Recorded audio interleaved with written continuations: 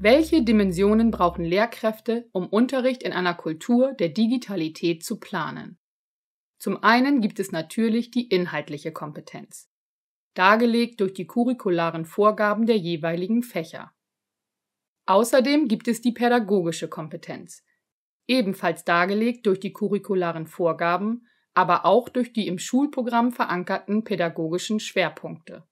Der Bezugsrahmen ist hier der § 32 des Schulgesetzes zur Eigenverantwortung der Schule. Die Schnittstelle dieser beiden Dimensionen ist die pädagogische Inhaltskompetenz, auch Fachdidaktik genannt. In der prädigitalen Zeit waren diese beiden Kompetenzen die Grundlage für die Planung von Unterricht. Heute, in einer digitalen Gesellschaft, kommt eine weitere Planungsdimension hinzu. Das ist die Digitalitätskompetenz. Diese wird dargelegt im Orientierungsrahmen Medienbildung oder auch dem KMK-Strategiepapier.